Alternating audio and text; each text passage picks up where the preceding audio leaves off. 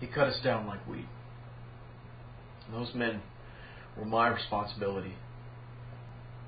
I should have died instead of them. I fell down and lived. They were killed. They had wives, girlfriends, and children. What did I have? Kid, what you got? It's called survivor guilt.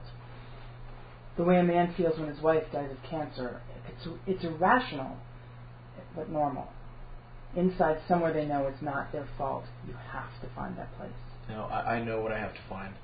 The sniper, and then what? I'm gonna capture him. I'm gonna kill him.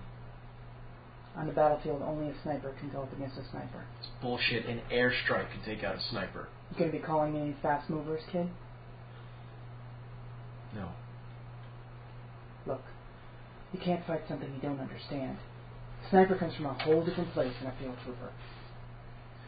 So I should what? Become a sniper? No way. All that sneaky shit? That's not fighting, sir. Brandon, I know who your father is. Yeah, so do I. Thomas Beckett, the greatest Marine sniper, and all that bullshit. You know what I think of that? Warfare is fighting face to face on the battlefield. Sniping the enemy from, from a hiding place is pure chicken shit, like that IED crap.